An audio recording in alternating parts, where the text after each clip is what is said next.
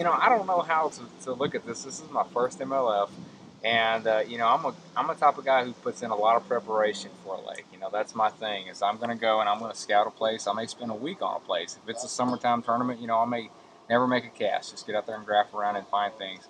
This is totally different. I don't know where I'm going to go. I spent the whole day preparing today, retying, packing, but who knows where we're going. So this is a unique format. Uh, I'm definitely feeling good. I feel like I'm fishing good. You know, Fork was good. Dardanelle was another top 12 for me last week on the Elite Series.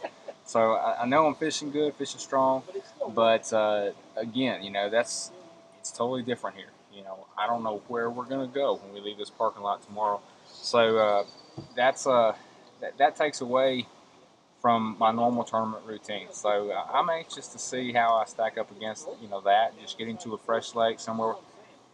I know for a fact that it's going to be somewhere that, where I have never fished because I've never fished anything within 100 miles of where we're at right now. So it's going to be a uh, unique experience for me, but I'm looking forward to it, man. We just sat around all day today, retying, and I'm ready to go uh, crack a couple big ones tomorrow.